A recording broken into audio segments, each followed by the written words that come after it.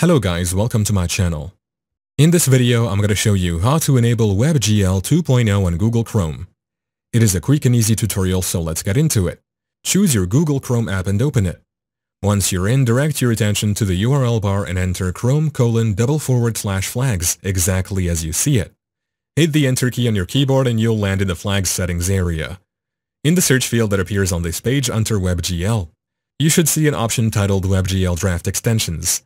Click on the drop-down menu next to it and select Enable. If you wish, you can also enable WebGL developer extensions for even more advanced capabilities.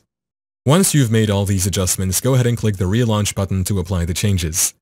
Next solution is to look for these three dots at the top right side. Once you've spotted it, go ahead and left-click on it to unveil a menu. From there, navigate downwards and select Settings to dive into the customization options. Next, direct your attention to the left side of the Settings menu and choose System. Here you'll want to ensure that the option labeled Use Graphics Acceleration when available is toggled to the on position. This feature boosts performance by utilizing your computer's hardware, so it's worth activating. Yeah, that's it. Thank you for watching. If this video was helpful, please leave a like and subscribe to my channel for more videos like this. And click on that notification bell to never miss an update.